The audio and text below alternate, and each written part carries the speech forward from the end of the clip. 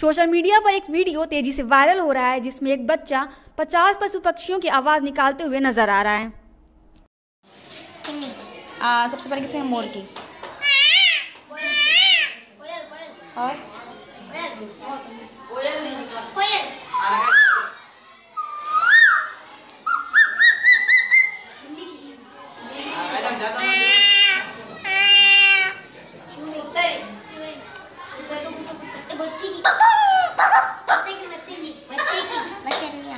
हाथी ना छोटा वाला बच्चा, छोटा वाला बच्चा।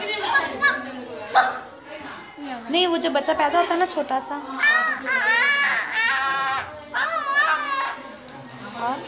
और एक